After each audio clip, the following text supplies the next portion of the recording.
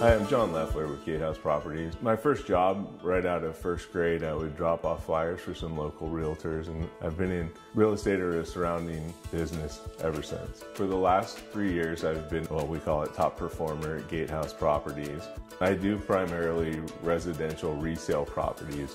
I really enjoy several parts of the process. First, I love meeting new people. We get to get into their personality and my personality and find homes that actually fit the personality. It's just a really natural, easy, organic process with John. You feel like you're in the driver's seat, but he has all the knowledge. And we actually had a lot of fun buying our first home, which I think is a rare thing because he has such a great sense of humor. I approach real estate in a unique way.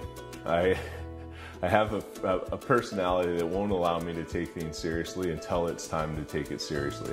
So I like to have a lot of fun with my clients, and at the same time, I can execute a contract and do dead serious negotiations while I'm having a good time. When we met John, straight away he was um, very genuine and very sincere, and you could tell he had our interest in mind. He was actually concerned about finding a good fit for us.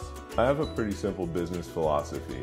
I work hard and I treat every transaction as if it was my own. So when a customer asks me a question, my answer is often, if this was my home, this is what I do. Uh, his thorough understanding of the business and his thorough understanding of the area he grew up here, uh, I found were important uh, in, in choosing him. When it came to any of the paperwork, and when it came to, uh, again, the understanding of the business, uh, John was right on point from the beginning.